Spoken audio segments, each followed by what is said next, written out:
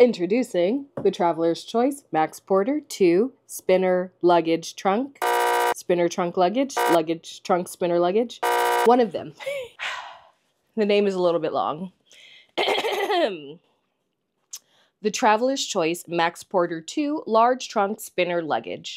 Anyway, here's the bag.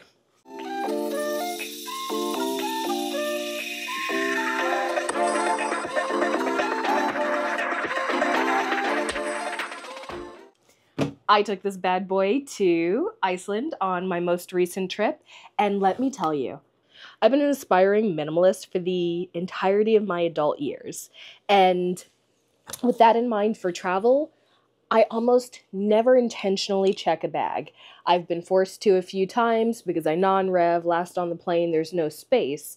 In that instance, you do what you have to.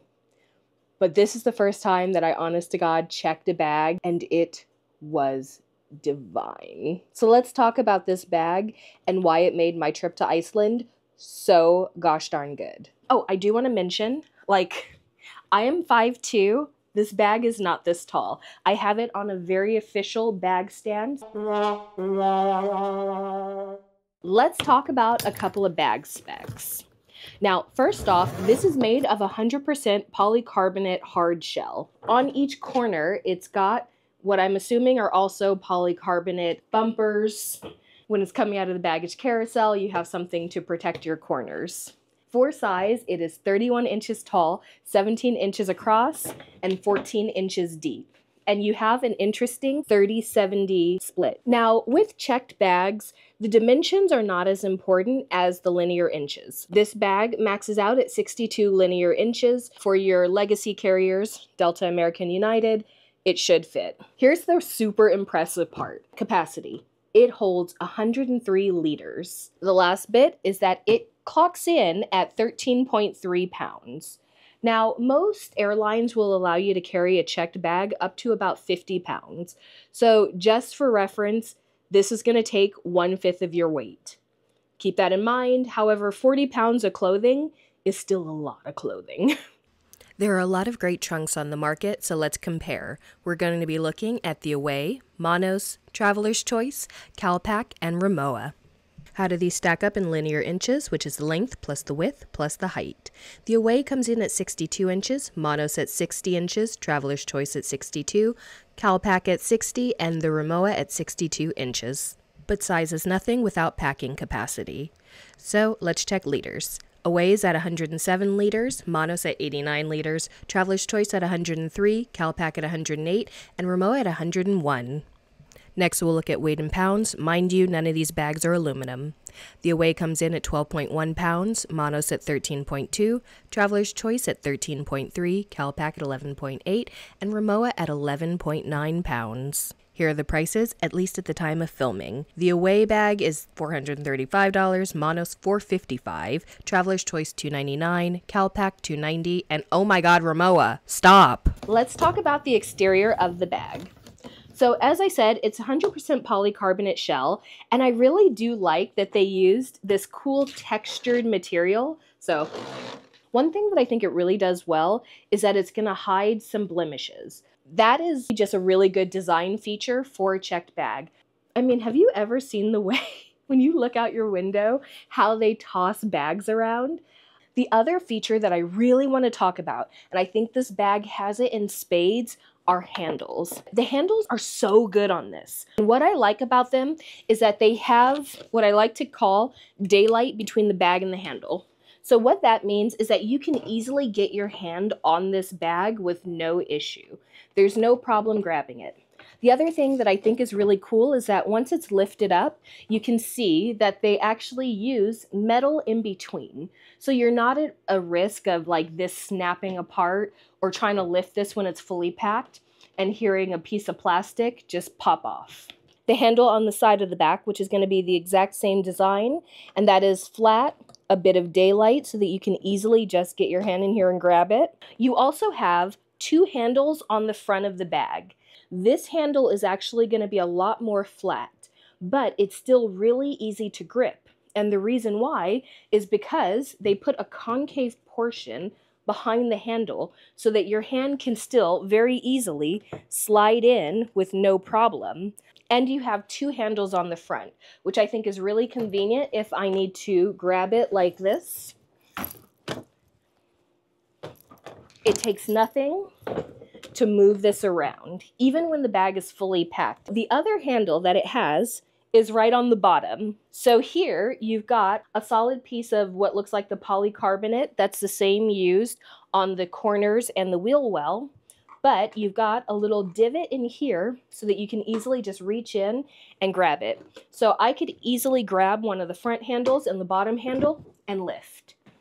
On the bottom, you've got rubberized feet. The most important handle on any bag is the one that you're using to wheel it. And for this, they use a T-Cruiser handle. What I like about this handle is the ergonomics. So it's made to fit in your hand very easily. And with the button placement, because it's slightly forward, when I'm holding it, my hand isn't pressing down on the button. So instead of doing a wider handle that comes up from either side, you're using up less of your internal bag space. For me personally, I don't like the handles that are midway. I would prefer either a wide handle because it doesn't take up any of your internal bag space or something that's right in the middle. You might be looking at this handle and thinking, oh, I mean, that's a cool enough handle, except what do you do when you have a bag? Let's say I've got my bag with my luggage pass through. I can still carry this pretty easily, but what you're going to notice is that it's going to essentially use up all of your space because this is as high as the handle can go. The other reason why I would caution against maybe using a luggage handle is that this is wide enough to hold it, but I do worry about it shifting from side to side. Whereas with your traditional bags, because they take up more space in the middle, you don't have to worry about that. And initially I thought, well, that's a design flaw. What am I going to do if I can't like stably have my bag sit on the luggage pass through? They have thought of a way to get around that. You've got this cool little piece on the front that just has a little lip that you can lift up. What you can do is feed this through your bag and secure it on the front. And now you've got a lovely place to hold your handbag. I ended up not having a bag that I needed to carry on here, but I was traveling with my sister and she had a duffel. It was giving her so much trouble. And I was like, I got you, Misty. And so I threw her duffel fully packed out onto the front of the bag, had no issues. Almost last but not least, at the top of the bag, you have a TSA lock that secures your zippers. I think that any bag that comes out nowadays should have a built-in lock of some sort. I do want you to look at how meaty this zipper is and how great these zipper pulls are. They're all metal, which I'm a big fan of. The last thing on the exterior that I want to talk about are the wheels. So you've got four omnidirectional wheels. With some suitcases, you'll see that they have a feature where they'll recess the wheel well farther into the bag. I like that this actually sits at the bottom so that you're not taking up your internal bag space. It uses just enough to make sure that the wheel has um, clearance from the bag, but not so much that it's eating into your bag. And these felt very secure as I was rolling. Oh snaps, I got to the end of talking about the exterior of the bag. I didn't even talk about the color. So this bag comes in some really fun colors. You've got your standard like black, slate gray, which are cool. But then you've got this beautiful navy, the army green. Oh my gosh, they were like neck and neck with each other on which do I need in my life. And this one out by a hair, but that green is gorgeous. The red is beautiful too. And if you're someone who needs like a lot of coordination, because your handles and your wheels and your zippers are red, if you got it in the red, it would look just so utterly chic. They have one that I think is kind of funny. It's I think it might be a special edition Olympics American flag one. Little much for me, but if that's your vibe, go for it. That's the entire exterior. Let's take a look at the interior. We talked about it's not a 50-50 split, it is 70-30. But one thing that I really enjoy about that is when you put this on a luggage stand and prop it against a wall, instead of having to put it like this, where it feels like it takes up your entire hotel room, you can prop it like this. And so for me, when I packed, I packed all of my clothes in the deeper side of the bag. And then I put things like shoes, toiletries, um, accessories, things that I just needed quick access to. That way I could just kind of unzip a corner, reach in, get whatever I needed, and then just zip it right back up. I like that you just have like an X strap instead of something large to push things down. Do I feel like this material is super luxury? No. And it's like your basic, just to keep things organized, not necessarily to do anything for compression. Which, personally, for me, in a bag this big, I don't think you should have to compress anything. This can hold 100 liters. If you're having 100 liters and still needing to compress, you got to start really evaluating what you're bringing. I brought like snow bibs, three coats, and I was able to fit everything into this so comfortably.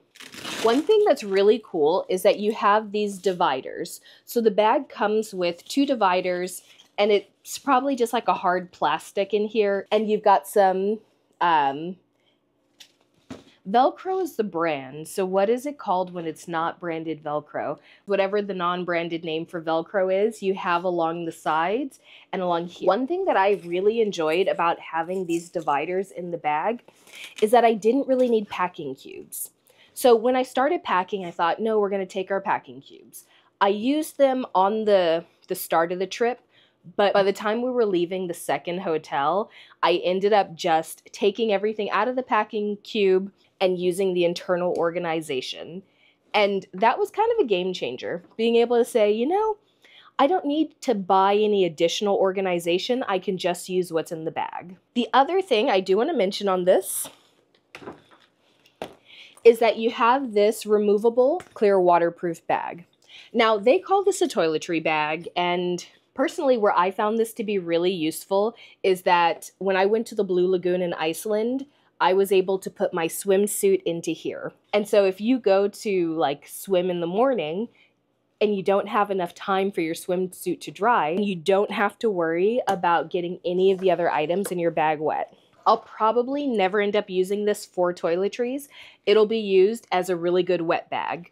The other thing that this bag has is a mesh pocket at the bottom. And initially, I kind of thought it'd be one of those pockets that I never use because oftentimes I'll get bags like this that have all these extra pockets and I never put anything in them. What I used this pocket for at the bottom was a place to put my underwear. It took nothing to just be able to reach in past the clothing, unzip it, grab a pair of underwear, go take a shower. So that's the main cavity of the bag. So one thing I do want to show is where this handle sits cool to see is that this is your polycarbonate shell. This is the back that we saw earlier. And then this is the handle. It's in a metal casing. It feels very stable when you're holding it and when you're rolling the bag. You've got no internal padding, but you put your clothing at the bottom and you're going to create your own internal padding. The reason why I wanted to show that is just so that you can see exactly what this bar is like. I was able to fold like a t-shirt t-shirt and then I have a smooth area all the way across. So next you have the smaller side of the bag. And even by smaller, that's still relative. This actually is still deeper than your standard hard side carry-on luggage. Now, what I like about this is that you have two additional pockets. One is a mesh pocket that goes about half of the height of the bag. And then you have another waterproof pocket. One thing I do want to note is that even the internal zippers are all metal. I cannot remember what bag I talked about this on. It might have been the Monos. They had these nice metal zippers, but there was no real grip to them. Like it felt like if you just put on lotion and tried to unzip something, your finger would come off of it. But these zippers have a tiny little bend to them. And it's just such a cool little design thing because it gives them the tiniest bit of grip so it doesn't feel like your hand is going to slip and slide. Okay, so then we flip it open and now you just have a giant unobstructed kind of bucket where you can place things. So again, it's just the polycarbonate shell, but when we talked about the front of the bag, I said that these handles have a little divot or a concave area where you can easily get your hand in here that is that. Let me know if it's overkill to like unzip bags and show you the inside of them. I don't know if anyone looks at that or cares about it like I do. And if you don't care, I can totally just keep that to myself. Despite the fact that this is the shallower side of the bag, by no means would I genuinely call it shallow. It can still hold a ton. So, like if I were to put a pair of Doc Martens in, it still zips up with plenty of room. So let's talk about our likes and our opportunities. You had to know, number one, what was I gonna say was my biggest like? The handles. I'm a sucker for a handle that's easy to grip, that doesn't feel like you're gonna have to like wedge your hand under. And I like that they actually differentiated in how the styles of the handles are. I like that the ones at the top and the side are just way more um, convex. And then here they can do a flatter handle because they create a concave area. I like the, the metal bits that they use to make sure that it's reinforced that even when you're lifting this bag fully packed out, it's not going to be a problem. I really do like the reinforced corners because that is a problem I have with some of my other bags is that when I've been forced to check like my carry-ons, they come out a little banged up because they keep on getting thrown and hit on this.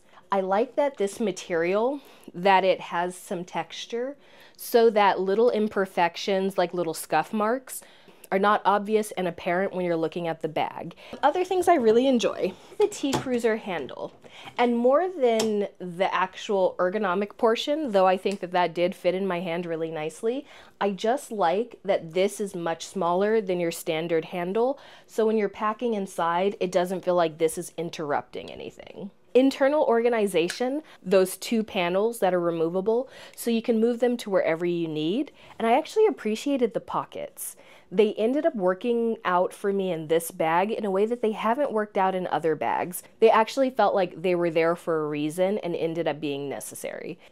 I don't know if this is an opportunity. If you are packing a ton of, let's say, camera equipment in here, one thing to be cognizant of is that it's literally just the shell, then you've got the lining fabric. So if you're looking for something that's incredibly padded to carry let's say filming equipment, a lot of electronics, you're going to need to put in your own padding and or look for a different bag. For me, because I was carrying clothing, wasn't a problem. So I do think that even while the bag being 13 pounds is a little bit heavy, it's well utilized weight. You've got metal components where you need metal components. I did not realize I was going to like this so much, but the 70-30 split. Like, legitimately, I want that in a carry on bag. I want a carry on bag that's not a 50 50 split. I just really enjoyed packing in this bag. Let's talk about my final thoughts about the Max Porter trunk. Would I buy this? And that's kind of with the caveat that I did not buy this, it was gifted. If I had just gone on the trip by myself and used this bag, I probably would have left thinking, ah, it's just a checked bag. They're all the same. But after the third hotel, I was still comfortably able to pack back into it every single night and just seeing the struggles that my sister went through. Hey Misty, how's it going? Um, well, you know, I'm a little behind on my packing. And I just got to get the shit in the bag and zipped. Could I give you a hand? No, I got it. Yep. She didn't bring more clothing than I did. She didn't bring more shoes than I did. I brought a pair of hiking boots, snow boots, and a platform sneaker. And none of them were like lightweight, none of them were small. Seeing that we both brought the same amount of stuff, her bag was overweight, so she had to pay an overweight bag fee and I was able to get mine down to 49.5 pounds right at the edge. And so I felt like the distribution, being able to fill it up without it going overweight, for what it is and what it can carry, it's a very lightweight bag, and I appreciate that. I think those are my final thoughts is that now, after traveling and basically being on what felt like an entire comparison trip and seeing my sister struggle, I would buy this bag. The only thing that I would do differently is that and I will actually do this in the future, is that I'm to buy the clear plastic protector that goes over it. Like, I can see that this material will hide the scrapes and scratches, but at the same time, suitcases are not cheap. It's not like you go out to the store and you buy like a $50 suitcase that you're going to have for the next 10 years. These bags are investments. It's worth considering if you're buying this bag because you like the aesthetics, and I totally get it, totally behind it because gorgeous bag you want to make sure that you also have the protection that you need for it. And so to me, if you're buying it, calculate in the added investment of buying the clear plastic to go over it. I mean, I've been filming for like an hour and a half. I think I've said literally everything I could possibly say about this bag. Peace.